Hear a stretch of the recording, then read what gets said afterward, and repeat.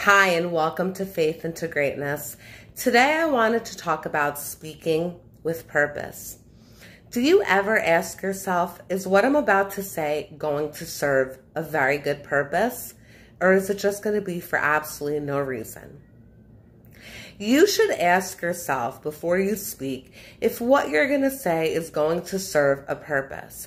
If whatever you're going to say, the only purpose that it's going to serve is to hurt others, to disempower others, to create confusion in people's minds, to cause havoc in others' lives, then don't say it. Don't speak it. Learn how to have integrity and to speak the truth.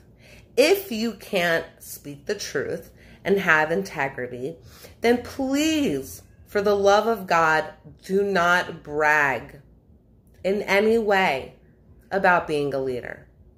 A true leader speaks the truth and has integrity.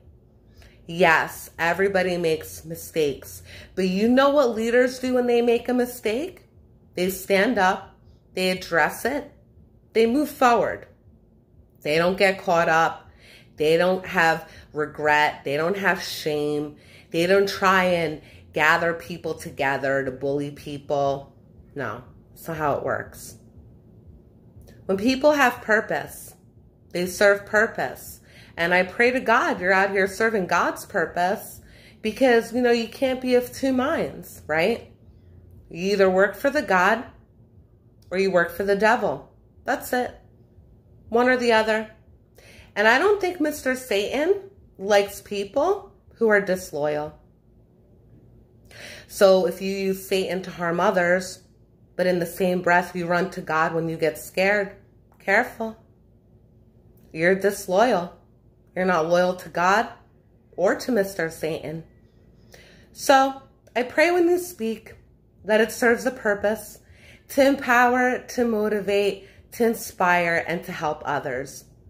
Always pray to God before you speak.